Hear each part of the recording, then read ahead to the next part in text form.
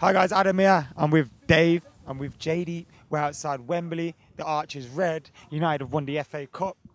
How you feeling? Absolutely insanely glorious right about now. Like I could, look, there's nothing like coming to Wembley to watch your club, your club lift and win the FA Cup in such a glorious fashion like they did today. It was unfreaking believable. And we've been about all day doing some stuff with TFR. I don't know. You wanna?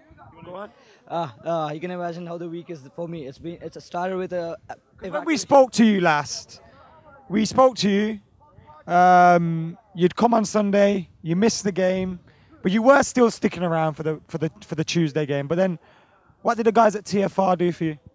Ah, well, that was an incredible gesture, and I was hope uh, throughout the week I was in touch with them, and they were like, "We'll start the game. We'll start the FA Cup final for you," and I was like, "Oh, that's unreal!" And I'm finally here, and it is the best moment of my life, probably. Yeah. How have you? What have you and Dave been up to? What have you done? Where can you find that content?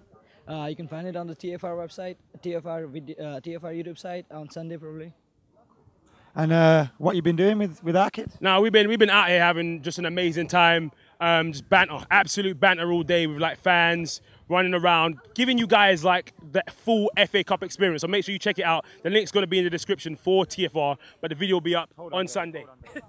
He just said the full FA Cup experience. You get that on full time Devils. but, what, but, what, but what he's trying to say is there's some extra stuff over There's on the extra- Football Republic. There is, there is, there is, there is. Listen, I'm telling you, come over to the Football Republic, check that bad boy out. But I've gotta say, it, has, it, it was such an amazing day. I'm telling you, there's no experience like like it when your when your club is in the FA Cup final. If you watch it as a neutral, it'll probably be like one of the best experiences of your entire life. But I, it was literally squeak, squeaky bum time the entire the entire game for me.